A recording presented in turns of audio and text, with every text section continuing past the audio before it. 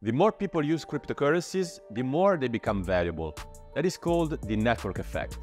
According to Metcalfe's law, the value of a network is proportional to the number of users who participate in it. That is why Bitcoin needs to reach mass adoption to unlock its maximum potential as a technology and asset. In less than 15 years of existence, Bitcoin has been adopted at an impressive rate. From a fringe technology used by a small group of cypherpunks, it has become a well-known brand today, with some nation-states even making it a legal tender and buying it as part of their reserves. And its value has grown accordingly.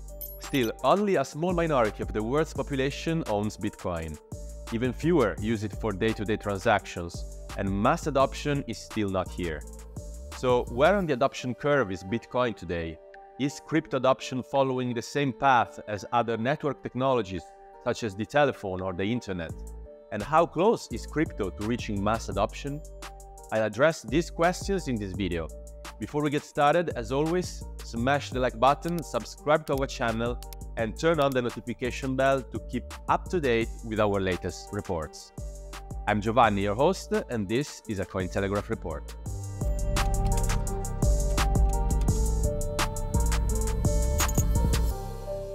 The adoption of new technology goes through several phases.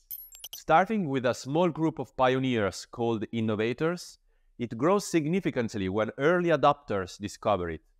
Next come the early and late majority, which are the biggest groups. And finally, the laggards arrive. To understand how this adoption pattern applies to crypto, I talked to Eric Jardine, lead researcher at crypto intelligence firm Chainalysis. Crypto as a technology will follow an S shaped adoption curve like we have observed with most technologies in the past. So start out relatively slow, accumulate, hit a period of exponential adoption, and then plateau as late adopters finally come on board. Now, where does crypto sit in this curve? That depends on how you measure crypto adoption. Estimates widely vary depending on what parameters are taken into account. If you see a big growth in wallets holding a positive balance of Bitcoin, it's a signal of the growth of the store of value function of Bitcoin if you start to see as wallets with an increasing velocity of transactions occurring between them, you start to get a sense of the idea that the Bitcoin might be being used increasingly as a medium of exchange. For this video, we'll consider two popular estimates, one for cryptocurrency in general and another one for Bitcoin.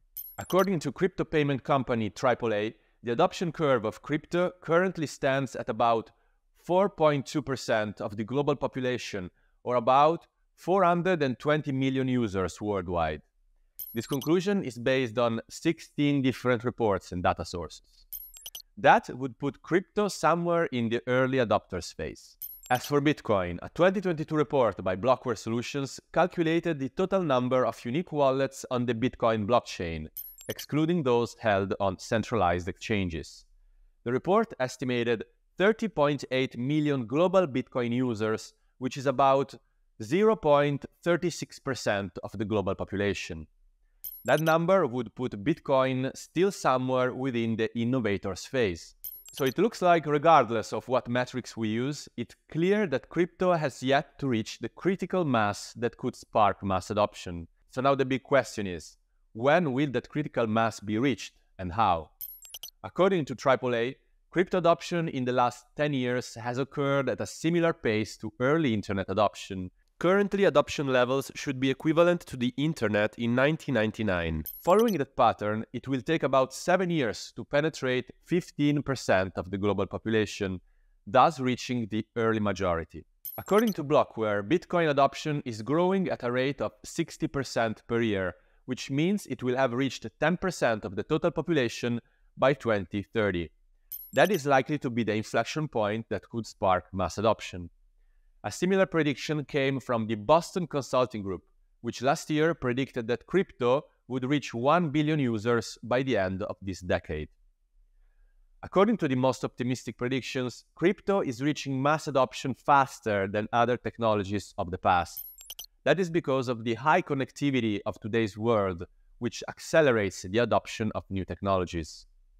For example, it took far longer for landline telephones to reach mass adoption than social media.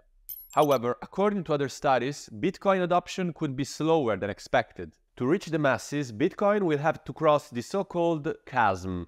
The chasm is a significant gap that separates early users from the early majority in technology adoption. That is the hardest obstacle to overcome for any emerging technology. To spread to the early majority, a product must have clear advantages over existing ones, be relatively free of risk, and be easy to use. The problem is that for the vast majority, the value proposition of Bitcoin and crypto in general is still not that obvious. Bitcoin is a highly volatile, risk on asset, which obfuscates its property as a store of value. Also, Bitcoin is designed to compete with and function as an alternative to the existing financial system.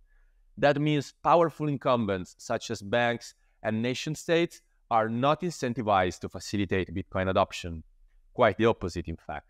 To overcome these obstacles, most analysts agree that crypto needs a catalyst, some sort of event that can change the majority's worldview. If the various ETFs, spot ETFs, get approved in the United States, that could bring in a tremendous amount of demand, which could cause the price to go uh, up fairly rapidly. That will bring in new entrants. That will lead to a pivot towards mass adoption in some jurisdictions as inflation runs rampant and people pivot towards Bitcoin as a safety uh, or as a lifeboat in that setting that can facilitate adoption on a per person basis fairly rapidly. What you'd essentially see is probably more people getting interested in the technology. They'll learn more about it, they'll understand more about the monetary system we have, the monetary system we could have. Overall, despite the obstacles, the general trend is positive, and Bitcoin is steadily progressing towards mass adoption. The latest Chainalysis Adoption Index shows that the crypto adoption rate slowed down during the current bear market